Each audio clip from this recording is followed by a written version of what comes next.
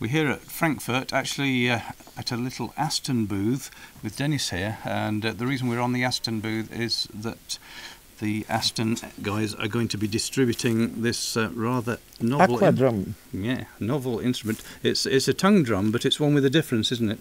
Because you've invented a way of tuning the little tongues, so you don't have to buy a whole series of drums for different musical keys. Exactly. So how have you done this, and what does it sound like? Uh, yeah. Uh, by the help of a of using a pin, Yeah. there is hole in the magnet channel.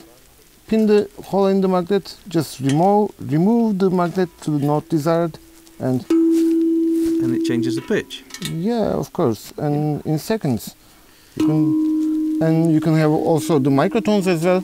In big tongues, tongues, it's possible to tune up to five semitones, and the small tongues up to three semitones. So you can have many, many instruments in one. Yeah. And of course, these things record really nicely, and if you're doing ambient music, they're perfect. Yeah, And I know that you use one with a lot of electronic effects as well, don't you? yeah, yeah. So, can you give us a quick demonstration of how it works before we ask you about the price?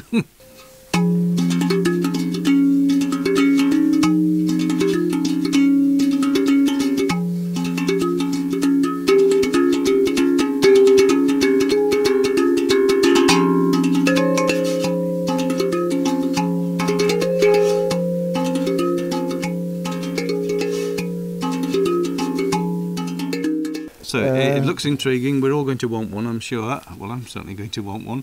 So, um, what's the price and availability, please? Uh, the price will be 299 Pounds. pounds, uh, including VAT, and it will be available on July. Okay, that's really good. I shall wait for that. Thanks. Yeah, thank you very much.